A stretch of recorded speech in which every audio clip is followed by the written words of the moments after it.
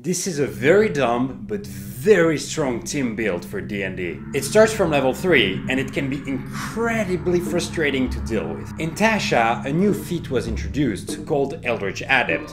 It allows anyone to pick a Warlock invocation. On average that feat is pretty bad since Warlock invocations are usually just worse feats. Biggest example of that is Eldritch Mind and Warcaster. But there is one exception.